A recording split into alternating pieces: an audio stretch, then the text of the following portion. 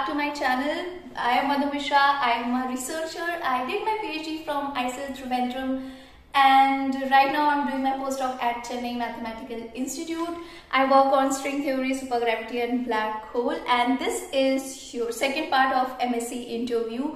If you haven't seen the first part, please do check that out. We covered a lot of that, uh, a lot of your questions and uh, in that part and some of the questions were remaining so we I kind of uh, took the liberty and divided it into two parts so that you can first you can observe all the queries that you asked in the first part then we can discuss something else here.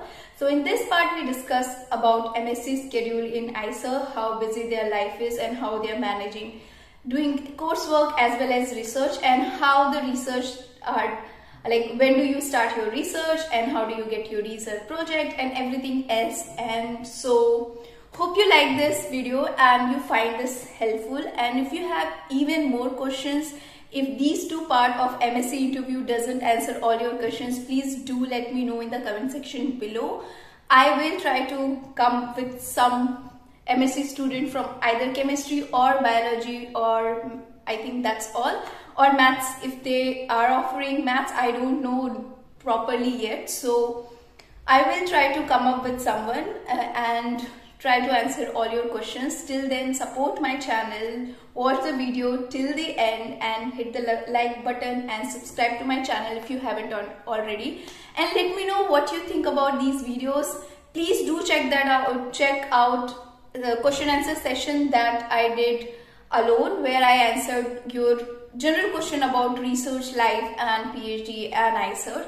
So I'm going to link both the videos in the description box below. So do check that out and ask as many questions as you want. And if you don't want to ask in the comment section below and you are shy or something, you can DM me on my Instagram. My Instagram handle is i underscore madhu5. So please do check that out. And without further delay, let's get into the video. So got to know me through YouTube channel, right? Yes, yes, yes, yes. Uh, before coming to IISER TVM, like when I uh, got to know that I am selected for the master's course, then uh, I could say I was searching YouTube, and the best channel for that I found was Madhu Dees, and I could reach IISER campus because of her because she told the ways by taking what bus. The screenshot also you put in uh, of that IISER bus timings and everything because it is so difficult to reach the campus when you don't know the language and you are coming for the first time. The mountainous you know roads uh, you at one point of time you start to doubt that the driver is the correct person or not. Because in the hilly areas and you don't find you know much of city crowd over here or the people. You will only find the town people so it is a, a good experience an adventurous experience in its own way. So, okay, first of all, uh, could you tell us about the schedule of a first year MSc student in IISER? Like how yeah. Is, how is your day distributed basically? Yeah, so uh, if I tell you that uh, for specifically speaking about the School of Physics. Uh, the master student has four coursework in each sem and one lab sessions uh, that is advanced physics lab. And apart from that we have a seminar course in which we have to give the seminar. Like it is expected that the student would work upon a topic or would read some research papers and in the end of the semester would present it uh, uh, something kind of a pre-synopsis. But it is not our work uh, we uh, we are like in a state where we have to tell about or explain it to to the professor. Yes. Okay. So we are having four major coursework and our day starts at 9 or 11 a.m. in the morning uh, because a few days the classes start at 9 a.m. or the other days the classes start at 11 a.m. And this is what I'm telling you about the first sem. In second sem, our classes start at 10.30 or 11 a.m.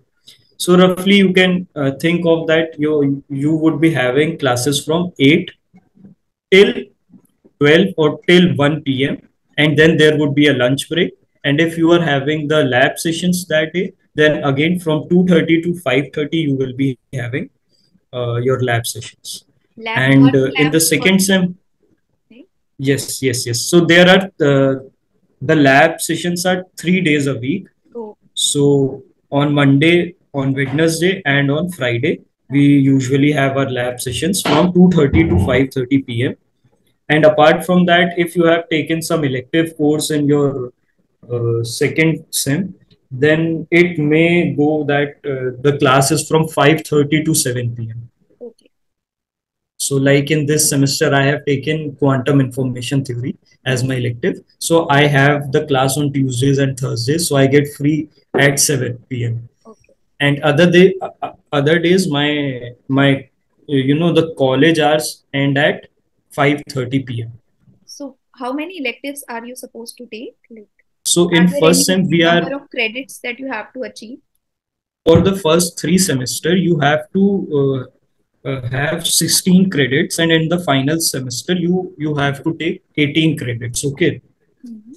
so in the first sem there is no scope of elective you have to study all the four courses.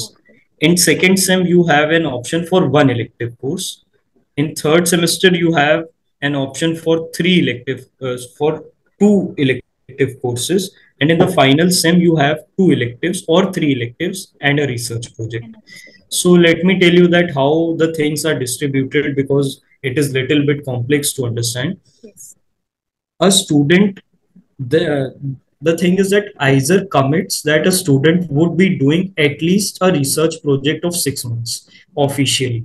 Okay, so that would be in the final semester of your master's course. Right. Other than that, you can also have a research project for one year, that is your third and fourth sem. Mhm. Okay. But on ground reality is that there are few students who take a research project who approach the professor little early okay? And they may start to work during their second sem only okay? By having little bit of uh, reading material and everything. But officially that project would be of one year or six months. So if you are having a one year research project then you will be having two electives in your third semester. Otherwise you will be having three electives in your last sem and a research project. Or if you are having one year research project then two electives in the last sem and and the research project.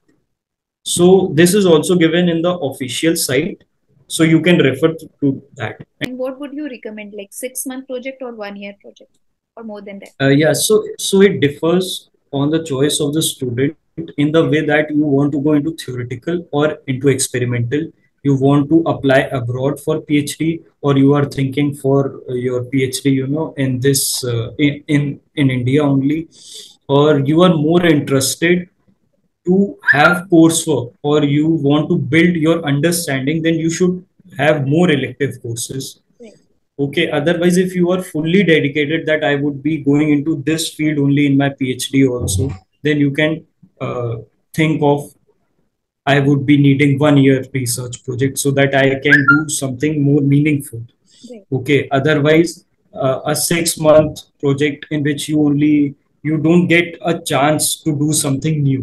Hmm. you only study uh, the reading material the professor provides or you know about you get to know about his uh, research only. Right. and if you want to apply somewhere abroad then what they are looking for is your research experience right? So it is better that you have a one year project but it is not mandatory. Whatever it is preferred over. Yeah. yes. Because I have seen that people in abroad, when you apply for PhD, they ask you to list down all the coursework you have taken. And IISER actually helps because the coursework they are looking for is everything that IISER provides. All the coursework they are looking for, like quantum field theory, general relativity, everything is provided in IISER. So they, it's good if you apply for a abroad PhD. IISER actually helps. Uh, this is what I've been told by an I, uh, previous BSMS student who is doing his PhD in Northeastern University. So he also worked with Matthew. Matthew was there, and within six months he had a paper in PRD. So that helped him uh, in his application also, basically. And he got into five universities in US and Europe, I think. In total, he applied at 10 places and he got selected in five places, out of which he chose Northeastern University. So IISER's, uh, this curriculum actually helps.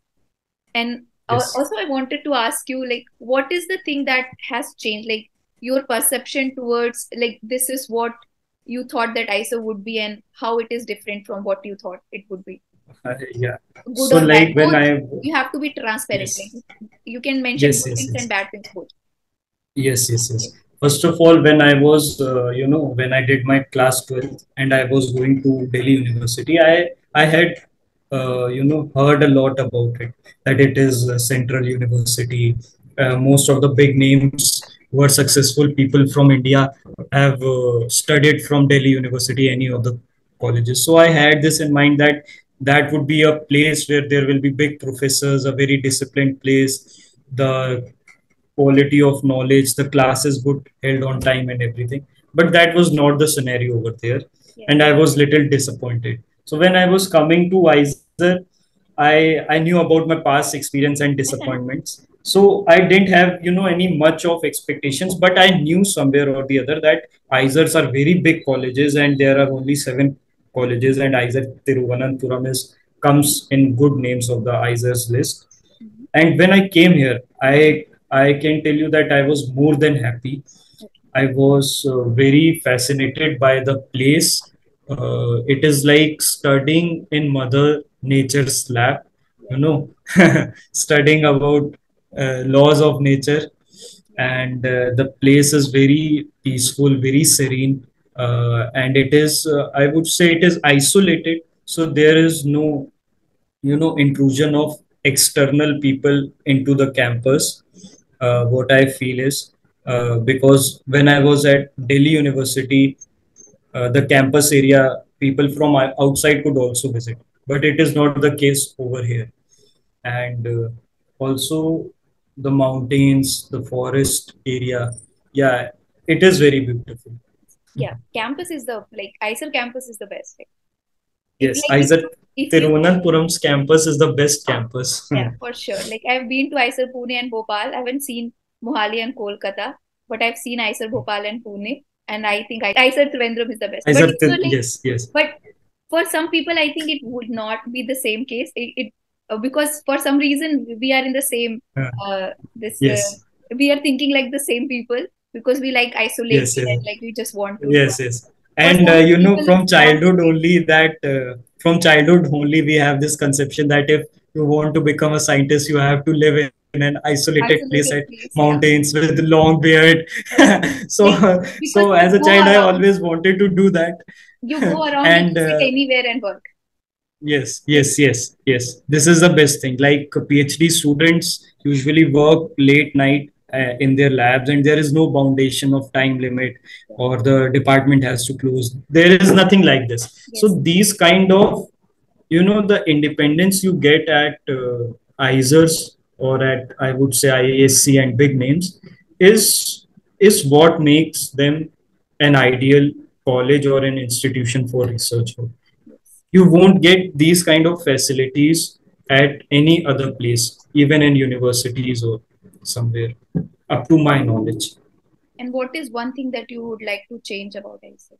Like this would, if this one thing I would like to change about IISER Thiruvananthapuram is that I want the food deliveries and the Amazon deliveries. you know, little isolated yes. food deliveries. yes, yes, yes. But I want isolated place, but I don't want a place where I can't get an Ola, Uber, or I cannot even order food. okay, even the Amazon takes twenty days to deliver the books so so you can think that how isolated this place is Very and if you think of going to the city you have to think 100 times before going because it takes two to two and a half hours yeah. to reach the place yeah. correct, now, correct, screening correct. things now because uh, yes yes yes we uh, like uh, I, I can say that in every two weeks we have a screening of any movie at our you know now we also have if madhudi you were there uh, the billboard is also installed in the campus i hope you have seen it Yeah, yeah. You have passed out after that yeah yeah I've so now the students uh, yeah yeah the students are watching uh, films in the billboard Oh, so it? yeah it is a very yes yes yes yes, Oh, yes. when I was there, they were only watching FIFA World Cup. FIFA. No, now the screening is on the billboard. Uh, I would not have liked it. Too much like Yes, yes, yes. People sitting uh, outside the cake world and watching the films. amazing. It's amazing. Like for students, like BSMS students is very good. For PhDs, it's Yes. not as good, like because we are very few people. Hmm. So you can enjoy this billboard and these things if you have a larger group of people you sit Yes. around and have fun. You Yes, just do like you're mentioning there are six people in IPhD and not all are Yes. friends because we have chosen different Yes. paths in different labs and we are uh, like specializations and Yes, and different timings Yes. also, no? We are get free at Mm. different times. So we are not all close friends. So very small groups, so you Yes. don't get to enjoy these things. you And the weeks are so hectic that when you get holiday in the weekends, you prefer sitting uh, at your place, you know, cleaning the stuff and everything. Uh, And and one more thing which I really really want to change about IISER Trivandrum is that somehow these insects in my room all the time insects I, I want to get rid of them like I cannot keep my water bottle on the table because all the insects would crawl into the water bottle what? or especially the ants yes literally room are you like? I am I had no insect in my room. uh, these so many insects like i don't think there was there was any time when there is no insect no ant on my table Oh, never uh, i am in anamudi block Okay. sixth floor and What- just in front of my table is this window and so jungle? yes That yes yes yes it's complete jungle yeah, that is why I And- because I was you tell the Like- people they'll give this do this pesticide uh, something. Hmm. They used to do in our hostel because I was in ground Okay, floor. So they Hmm. use this pesticide. I, I have never seen Okay. a single ant in my room, even if I had like food or something. Like until unless I keep something open, some some sweets or some chips open, then there will be ants, but they will be inside the packet, not outside the room. So uh, that is the only i am very get this uh, white chalk, Lakshman Rekha, yes yes and uh, tell Yes, the security people to do this pesticide. They will Yes, do it yes, and it will be better actually. yes Just yes, tell yes. them they will do it. Complain something. Start complaining in IISER. That works actually. In IISER, I've yes, seen that if you complain, it actually works, which is not the case in anywhere. Like you can keep complaining, it doesn't Yes. happen. Nothing will Yes, happen. I, I would agree to this thing. Uh, I think the people in Kerala are much more, you know, uh, they give attention to feedbacks of students and everything. And also, you'll see in uh, Kerala, they don't complain actually. So if you Yes. complain, it means that it is a big thing. In Yes, North, yes. we just complain about it. We just complain. So they don't want they are going to complain anyway, so they just don't listen to it. Yes. Kerala, mostly people don't complain about like until oh. unless they have a major issue, they will just not complain about anything. So when you complain, they take it seriously that maybe it's a major In issue. North, if a person is complaining, then we get the confirmation that everything is going well. I've seen very few people who are very happy in the campus because not many people like this isolated life, no? Because anyway, you have too much pressure, right? Yes, ICL, correct, you're correct, correct. you're working from morning 8 to 7.30 and then you have no Hmm. life left because everything has been sucked out of you and you just have to sleep Hmm. and then you can't go and watch a movie in weekends so you're just stuck Yes, yes. and some of the professor won't let you go in weekends also they'll keep the Weekends meeting on yeah. sunday this this is a phd problem they'll keep the meeting on saturday or sunday Alright, I hope you find this video helpful and if you have any more questions, please do let me know in the comment section below. Till the next video, see you. Bye bye.